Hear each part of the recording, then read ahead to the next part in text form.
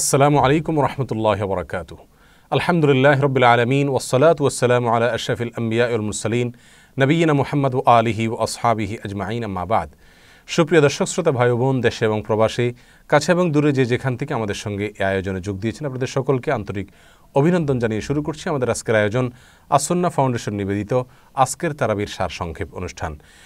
প্রিয় দর্শক, আজকের তারাবিতে কোরআনে করিমের তেরোতম পারা ইনশাআল্লাহ তেলাওয়াত করা হবে আর আজকের তারাবি হবে ইনশাআল্লাহ দশম তারাবি। দশম তারাবিতে তেরোতম পাড়ায় কোরআনে করিমের যে অংশ তেলাওয়াত করা হবে, সে অংশের শুরুতেই রয়েছে সুরাই ইউসুফের উল্লেখযোগ্য অংশ। এরপরে সুরায় রাদ পুরাটুকু থাকবে, তারপর সুরাই ইব্রাহিমের অংশ থাকবে আজকের পুরো তারাবি জুড়ে।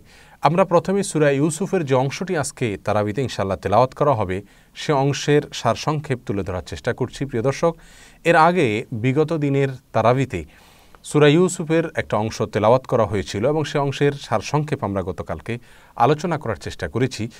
আর আজকের তারাবিতেও যেহেতু সুরা ইউসুফের অবশিষ্ট অংশ তেলাওয়াত করা হবে, আর আমরা আগেই বলেছি সুরা ইউসুফে আল্লাহ সুমাতালা ইউসুফ আলাইসরাতামের জীবনে ঘটে যাওয়া ঘটনাকে যত বিশাল আকারে বর্ণনা করেছেন, যতগুলো আয়াত তার জন্য বরাদ্দ রেখেছেন, অন্য কোনো ঘটনা বর্ণনার ক্ষেত্রে আল্লাহ সুমাতালা একসঙ্গে এতগুলো আয়াত ব্যবহার করেননি।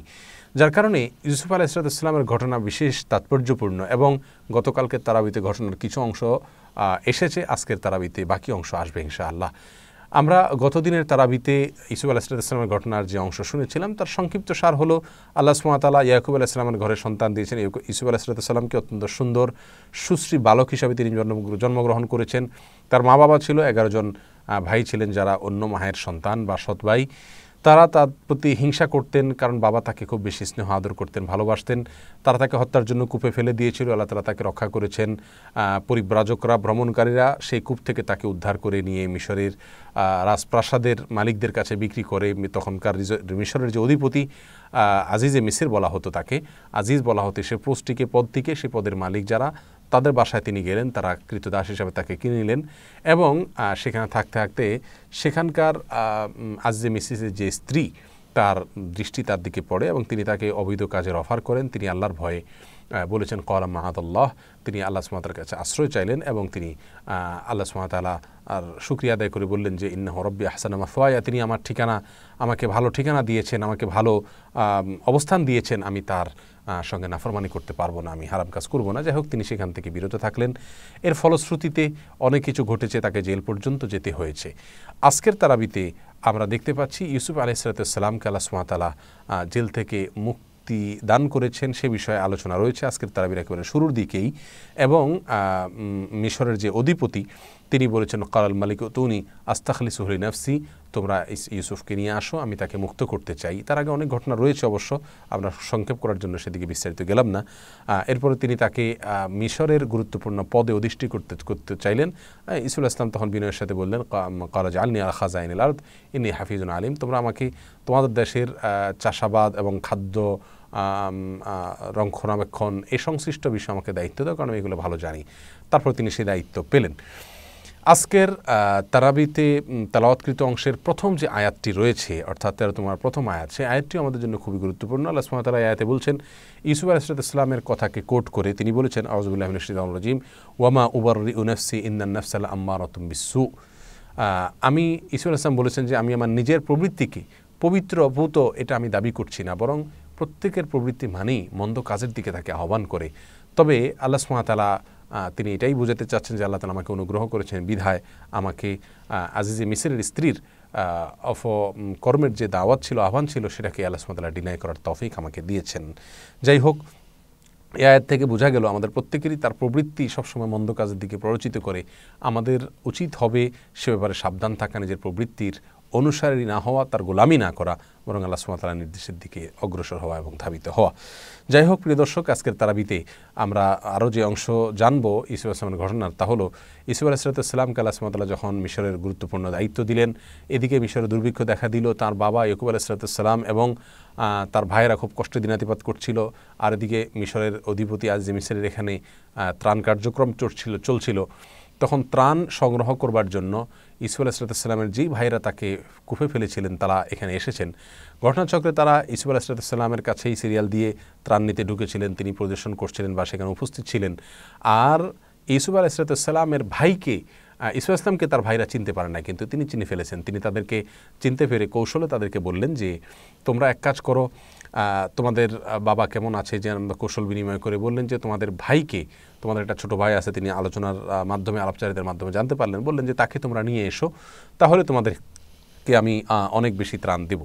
যাই হোক ভাইয়েরা তো চিনতে পারলেন না ইসুর ইসলামকে, তিনি চিনে ফেললেন এবং ইসলাম জানেন যে, আমার তার ছোট ভাই আছে বিনিয়ামিন। যাই হোক, তখন ইসুফ আলাহিসাল্লাম এর বড় ভাইয়েরা, সৎ ভাইয়েরা, তারা ফিরে আসলেন এবং তার বাবা ইয়াকুব আলাইসলামের কাছে এসে বললেন যে, বাবা মিশরের সেই নেতা আমাদেরকে বলেছেন, আমাদের ছোটো ভাইকে নিয়ে গেলে অনেক দিবে, আমাদেরকে ত্রাণ। তুমি আমাকে তোমার ছোট ছোট সন্তানটা দাও, যিনি ইসুফ ইসলামের আপন ভাই ছিলেন। যাই হোক, তখন বাবা বললেন যে, তোমরা তো এর আগে আমার ইসুফের ফারেও আমাকে প্রতারিত করেছ। আমি তোমাদের প্রতি কোনো ভরসা রাখি না। তবে হ্যাঁ আল্লাহর প্রতি আমার ভরসা ঠিকই আছে।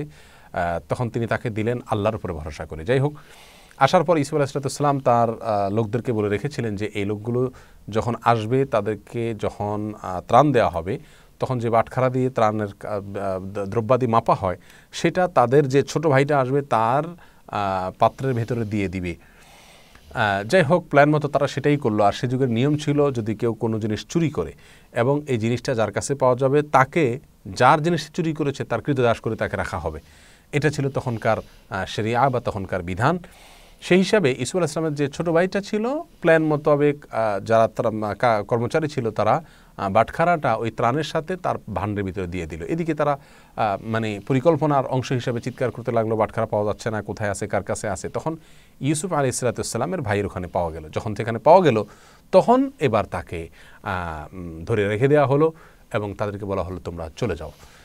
তখন তারা যখন চলে আসার প্ল্যান করছিল, তখন তারা বলছিল দেখো তার ভাই এভাবে মারা গেছে, এ আসার আগে তার আমাদের বাবা খুব আপত্তি জানাচ্ছিলেন, এখন নিয়ে এসছি, তুমি যদি রেখে দাও, বিপদে পড়ব। অনেক কথা বলেছে, কিন্তু ইউসুফ আলাহিসাম তখন তাদেরকে বললেন নিজের পরিচয় দিয়ে যে তোমরা কি জানো, তোমরা ইউসুফের সাথে কী আচরণ করেছিলে?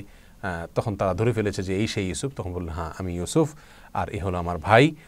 তোমরা জুলুম করেছ, অন্যায় করেছ, তারা বলেছ আমাদেরকে তুমি ক্ষমা করো। তিনি বলেছেন, লা বা আলিকুল ইয়ম যাও তোমাদেরকে ক্ষমা করলাম, তোমাদের কোনো প্রতিশোধ আমি নিলাম না।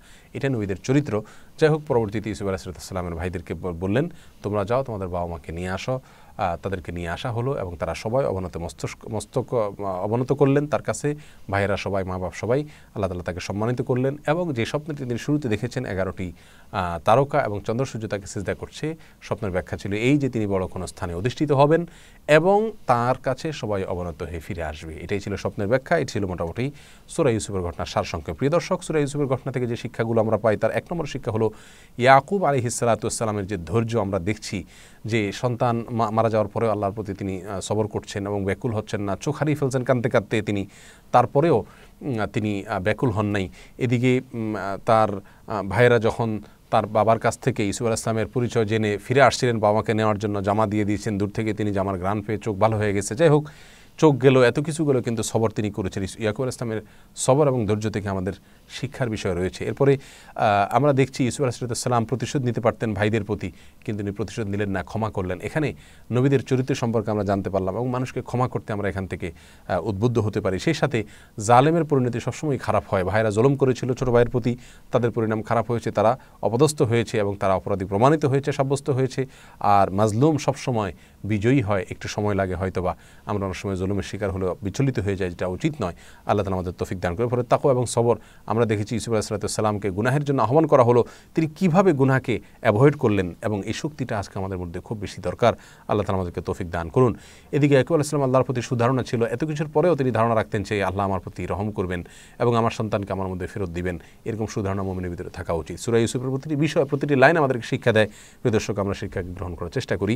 এরপর আজকে তারা ভিতরে সুরা রাত তেলাওয়াত করা হবে এবং সুরা রাতের ভিতরে প্রথম আয়াত আল্লাহ সুমাতাল্লাহ কুদরত সম্পর্কে আলোচনা করা হয়েছে। আল্লাহ সুমাতাল্লাহ অস্তিত্বকে প্রমাণ করছে তার বিভিন্ন সৃষ্টি, বড় বড় সৃষ্টিগুলো সেগুলো আলোচনা করা হয়েছে। এরপরে পনেরো নম্বর আয়াতে সিজদার একটি আয়াত রয়েছে আজকের তারাবিতে। আর সিজদার আয়াতে আমরা জানি, যেখানে সিজদার আয়াত আছে, সেখানে বড় কোনো আল্লাহ সৃষ্টি বা বিশেষ কোনো সিজদার মুহূর্ত থাকে, তখন আমরা সেই মুহূর্তের সঙ্গে তাল মিলিয়ে আমরা নিজেরাও সিজদায় লুটিয়ে পড়ি আল্লাহ এবং তার রসুল সাল্লাহ আসলামের নির্দেশেই।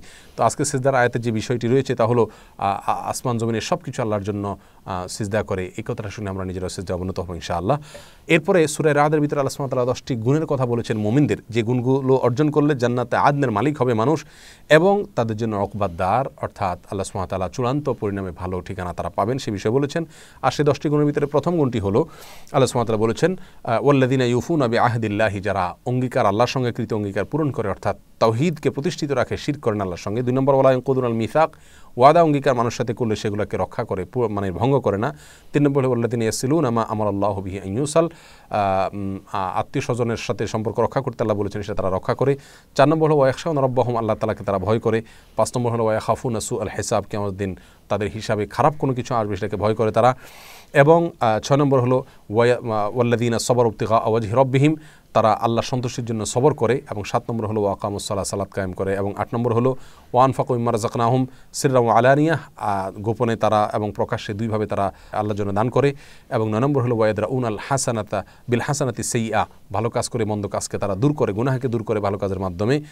এই গুণগুলো তাদের ভিতরে থাকে প্রকাশ্যে, গোপনে, দোনোভাবে তারা এবাদবন্দি করে। উলাইক আলহম আকবদ্দার তাদের জন্য রয়েছে শেষ ঠিকানা, ভালো ঠিকানা এবং জান্নাতে আন তাদের রয়েছে। সালামুন আলাইকুম বিমা সবার তুমফানি আকবদ্দার জান্নাতিরা তাদের এক এক দুয়ার দিয়ে ঢুকে ঢুকে তাদেরকে অভিবাদন জানাবে, ওয়েলকাম করবে এবং বলা হবে তা সালামুন আলাইকুম। তোমরা যে ধৈর্য ধারণ করেছিলে দুনিয়ারে, দুনিয়াতে, সেজন্য তোমাদের শান্তি বর্ষণ হোক এবং তোমরা উত্তম ঠিকানা পাবে। এ দশটি গুণ আল্লাহ তালা আমাদেরকে অর্জন করার তফিক দান করুন। এভাবে সুরাই রাত শেষ হবে। এরপরে সুরাই ইব্রাহিমের ভিতরে আল্লাহ তালা শুরুতে মুসা ইসলামের এবং বিভিন্ন নবী রসুলদের ধৈর্য ধারণ করার এবং তাদেরকে কষ্ট দেওয়ার ঘটনা, সেখানে ধৈর্য ধারণ করা এবং আল্লাহ তাওকুল করার ঘটনা উল্লেখ করেছেন। এরপরে একটি বিশাল, মহা বড় ঘটনা আল্লাহ তালা উল্লেখ করেছেন সুরাই ইব্রাহিমের বাইশ নম্বর আয়াত। আল্লাহ তালা শয়তানের সাথে মানুষের যে কনভারসেশন কেমন দিন হবে, বিশেষ করে মন্দ মানুষদের, সে বিষয়ে আল্লাহ সুমতাল্লাহ বলতে গিয়ে বলেছেন ওকাল শৈতান আল্লাহ কুদি আল্লামর কি আমাদের যখন ফয়সালা হয়ে যাবে, মন্দ মানুষরা জাহান্নামে চলে যাবে, তখন শয়তান তাদেরকে, মন্দ লোকদেরকে, তার অনুসারীদেরকে বলবে ইন্দাল্লাহ ওয়াদাকুম ওয়াদাল হাকি আল্লাহ তোমাদেরকে যে ওয়াদা করেছেন সেটা তোমার সঠিক পেয়েছ, আল্লাহ ওয়াদা পূর্ণ করেছেন, তোমাদেরকে জাহান্নাম দিয়েছেন। ওয়াদতুকুম ফাখলাফতুকুম। আর আমি ওয়াদা করেছি তোমাদেরকে, আমার ওয়াদাও কিন্তু আমি খেলাফ করেছি, যেহেতু আমি শয়তান। আমি তোমাদেরকে ওয়াদা করেছি, আমার কথা মতো চললে শান্তি হবে, কিন্তু শান্তি তোমরা ফাইনালি পাও নাই। ওমা কানালি আলাইকুমিন সুলতান। তোমরা আজ আমার বিরুদ্ধে কোনো প্রমাণ দাখিল করার সুযোগ নাই, কারণ তোমরা স্বেচ্ছায় করেছ আমার আনুগত্য। ইল্লান দাওয়াতুকুম ফাস্তা লি ফাস্তা জবতুম আমি তোমাদেরকে দাওয়াত দিয়েছি, অন্যায় কাজের জন্য তোমরা সাড়া দিয়েছ। ফালা তালা মুনি ওয়ালাত ওয়ালুম আংফুসকুম অতএব আমাকে গালমন্দ না করে আজ নিজেদেরকে গালমন্দ করো। প্রিয় দর্শক, সুরা ইব্রাহিমের এই বাইশ নম্বর আয়াতের যে কনভারসেশন কাফেরদের সাথে নেকার বদকার লোকদের সাথে শয়তানের হবে, সেটিতে আমাদের জন্য চিন্তার খোরাক রয়েছে। শয়তানের আনুগত্য করব কি করব না, আমরা সে বিষয়ে চিন্তা করার সুযোগ রয়েছে। এরপর আল্লাহ সুমাতালা শেষের দিকে এসে চব্বিশ নম্বর আয়াত এবং পরে ইব্রাহিম আলাহিসামের কথা বলেছেন। তিনি তার সন্তানদের কে মক্কার বিরানভূমিতে রেখে তিনি আল্লাহর উপর তাওকুল করেছেন, আল্লাহ তালা তাদেরকে রক্ষা করেছেন। তিনি বলেছেন রব্বিন নিয়াসকান্ত বিন জরুরিয়াতি বিওয়াদিন গাইরিজি আইন দাবাইতিকাল মহরম আপনার ঘরের পাশে আলফাসে আল্লাহ কোনো শস্য ফসল নাই, সেখানে আমার সন্তানকে, পরিবারকে রেখে গেলাম। রব্বান আলী ইকিমুসাল্লাহ যেন তারা সালাদ কায়েম করতে পারে রেখে গেলাম। ওজা আল আফেদাতাম মিনান্না সিতাহবি ইলেহিম ওয়ারজুক হমিনা সামারাত। মানুষজন এই মক্কার দিকে আকৃষ্ট হয়, তাদের মন্তরকে এদিক ঘুরে দেন এবং তাদেরকে ফল ফলাদি দিয়ে আপনি রিজিক দান করেন। আমরা জানি মক্কার প্রতি সবার মন ঝুঁকে গেছে, তার দোয়া কবুল হয়েছে এবং মক্কার আশেপাশে তাইফে সব রকমের ফল ফলাদি আল্লাহ তালা দিয়ে থাকেন বছর জুড়ে এবং সুরা ইব্রাহিমের আজকের তেলাৎকৃত অংশের শেষের দিকে জালেমদের যে পরিণতি এবং মুজরিমদের অপরাধীদের যে পরিণাম সে বিষয়ে আল্লাহ আলোচনা করেছেন। প্রিয় দর্শক, সমস্ত আলোচনা থেকে আল্লাহ আমাদের সকলকে শিক্ষা গ্রহণ করার তফিক দান করুন। আসসালামু আলাইকুম রহমতুল্লাহ বরাকাতু